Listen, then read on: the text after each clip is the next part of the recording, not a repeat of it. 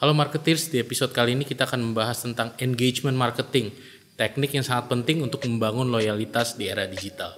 Saya Iwan Setiawan dan ini adalah analisis.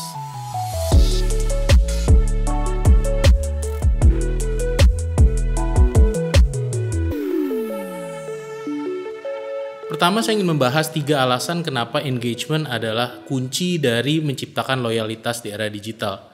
Yang pertama adalah the battle of attention kita tahu banyak sekali konten yang diterima oleh konsumen setiap harinya.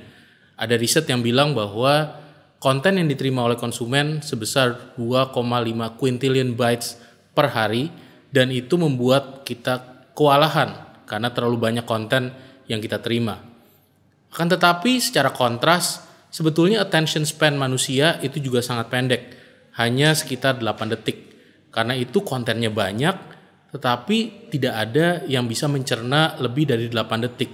Inilah yang membuat akhirnya attention itu sulit sekali didapatkan dari sisi konsumen. Kita akan kesulitan apabila kita tidak memulai engagement jauh-jauh hari sebelumnya dan baru mulai ketika kita ingin melepaskan konten kita atau mengkomunikasikan satu pesan kepada pelanggan kita. Alasan yang kedua adalah generasi sekarang sudah bergeser Dulunya generasi yang lebih senior seperti baby boomer dan Gen X itu lebih memperhatikan perusahaan-perusahaan yang sudah established.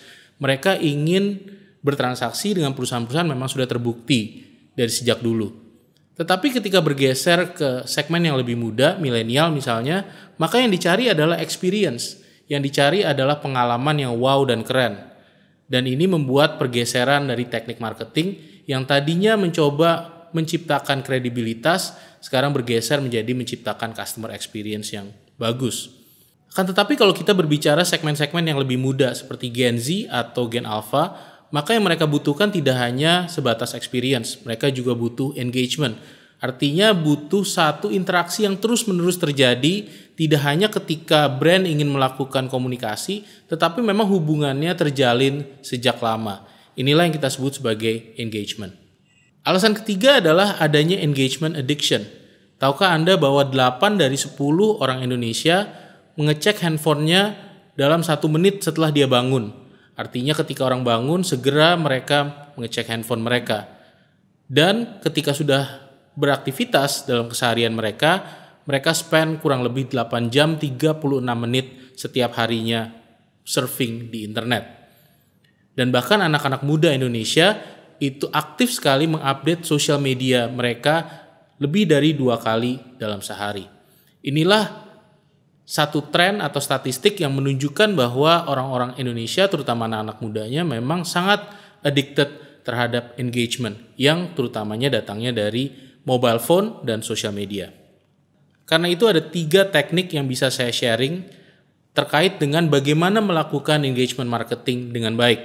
Yang pertama adalah menciptakan mobile application, yang kedua adalah social CRM, dan yang ketiga adalah gamification. Mari kita bahas satu persatu.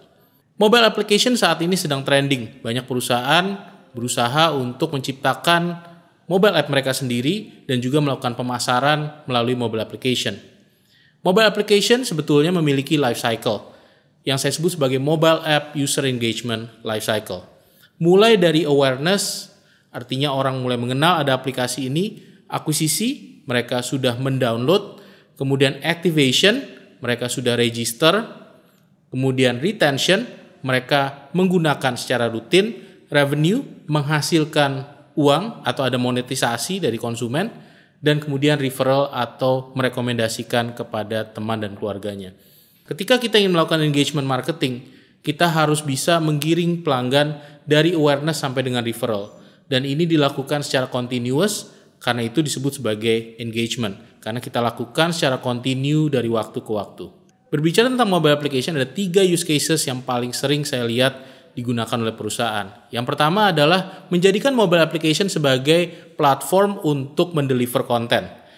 Jadi apabila punya tim yang memiliki konten dan menciptakan konten, mereka bisa mendistribusikan konten tersebut melalui mobile application. Yang kedua adalah menjadikan mobile application sebagai self-service channel. Misalnya perusahaan seluler yang menciptakan mobile application sebetulnya untuk pelanggan bisa mengetahui seberapa sisa kuota mereka, termasuk bisa melakukan transaksi untuk membeli kuota baru. Inilah cara untuk perusahaan operator menggunakan mobile application sebagai self-service channel. Yang ketiga adalah memang menjadikan mobile application itu menjadi core customer experience. Dan ini terjadi terutama di perusahaan-perusahaan teknologi seperti Gojek dan seterusnya. Atau bahkan perusahaan otomotif yang berbasis teknologi seperti Tesla yang menjadikan mobile application mereka semacam remote untuk mobil dan juga sebagai device untuk mengkontrol mobil mereka. Mobile application biasanya memiliki banyak fitur, tetapi ada tiga yang paling trending saat ini ada di mobile application. Ketiga fitur paling populer ini sering disingkat sebagai SOLOMO, Social, Local, Mobile. Social artinya aplikasi ini memungkinkan kita untuk berkolaborasi dengan pengguna yang lain Local artinya memiliki location based feature sehingga bisa melakukan customization sesuai dengan lokasi pelanggan saat itu. Dan kemudian mobile memiliki fitur-fitur yang bisa digunakan on the go dan bisa dilakukan secara mobile. Inilah tiga fitur yang biasanya paling populer ditemukan di mobile application. Kemudian teknik kedua untuk melakukan engagement marketing adalah social CRM.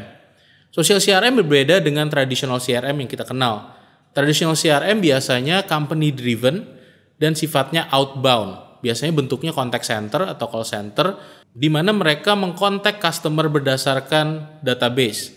Mereka menghubungi customer dari waktu ke waktu dan menjaga relationship secara continuous terhadap pelanggan-pelanggan mereka. Biasanya traditional CRM sifatnya one way communication atau bahkan dialog antara pelanggan dengan company. Berbeda dengan traditional CRM, social CRM lebih customer initiated atau sifatnya inbound. Jadi pelanggan yang biasanya memulai percakapan. Dan berbeda dengan traditional CRM, social CRM sifatnya many to many. Artinya percakapan itu tidak hanya terjadi antara pelanggan dengan company, tetapi juga terjadi antar pelanggan satu sama lain. Social CRM biasanya digunakan oleh perusahaan untuk banyak fungsi. Yang pertama adalah untuk mendengarkan suara dari pelanggan, untuk melakukan riset dan mendapatkan feedback dari pelanggan mereka. Yang kedua adalah melibatkan diri dalam conversation, artinya tidak hanya mendengarkan percakapan yang terjadi di sosial media, tetapi mereka ikut terlibat juga dalam percakapan tersebut. Dan terakhir adalah untuk handle customer complaint. Kita sering menemukan di sosial media ada account-account yang dimiliki oleh perusahaan yang gunanya sebetulnya untuk mengcapture komplain yang terjadi di sosial media terhadap brand mereka dan kemudian memberikan tanggapan dan solusi terhadap komplain tersebut. Salah satu contoh yang menarik adalah Marriott Group. Hotel chain ini memiliki yang mereka sebut sebagai M Live. M Live adalah semacam comment center di mana mereka bisa men-track conversation atau percakapan yang terjadi di sosial media yang melibatkan merek-merek hotel mereka. M Life memiliki satu fitur yang menarik yang disebut sebagai surprise and delight. Misalnya ada pasangan yang sedang honeymoon, kemudian mereka posting di sosial media mereka dan bilang bahwa mereka sedang berlibur di salah satu hotel Marriott. Maka biasanya percakapan tersebut atau posting tersebut tercapture di dalam M Life comment center. Kemudian mereka meneruskan informasi ini kepada general manager di hotel tersebut sehingga general manager di hotel tersebut bisa memberikan surprise atau kejutan kepada pasangan yang tadi posting bahwa mereka sedang honeymoon. Inilah salah satu contoh bagaimana engagement dilakukan merupakan hybrid antara social media conversation dengan experience yang terjadi secara fisikal di dalam hotel chain itu sendiri. Yang ketiga adalah gamification. Gamification adalah salah satu teknik yang biasanya paling banyak digunakan untuk loyalty program. Kalau Anda biasanya memiliki miles program dari berbagai airline, itu adalah salah satu contoh gamification di mana Anda diminta untuk mengumpulkan poin secara terus-menerus untuk bisa meningkatkan status Anda. Ada empat komponen besar di dalam sebuah program gamification. Yang pertama adalah adanya point system. Point system ini adalah mekanisme untuk mengkolek poin dan juga untuk meridim poin. Dan tergantung dari poin yang Anda kumpulkan, Anda akan tergabung di dalam sebuah tiers. Tiers ini biasanya bisa bronze, silver, gold, atau dalam tingkatan level 1, 2, 3, dan seterusnya. Dan tier ini biasanya punya mekanisme naik dan turun. Anda ketika bertransaksi lebih banyak, lebih sering bisa naik kelas atau bahkan turun kelas kalau transaksi Anda menurun dalam periode tertentu. Kemudian biasanya ada call to action atau perilaku yang kita minta pelanggan lakukan agar mereka bisa naik kelas atau mendapatkan poin lebih. Biasanya bentuknya dalam bentuk transaksi atau dalam bentuk action-action lain seperti referral, review, atau membayar cicilan tepat waktu misalnya. Dan tentunya semua ini harus dibungkus dengan sebuah insentif. Apa insentif yang akan diberikan oleh perusahaan ketika pelanggan berlomba-lomba untuk naik kelas atau naik tier di dalam gamification ini? Biasanya bentuknya dalam bentuk status, kelasnya meningkat, atau dalam bentuk privilege atau fasilitas yang hanya diberikan kepada kelas-kelas tertentu, dan dalam bentuk reward yang biasanya bisa diridim melalui point system tadi.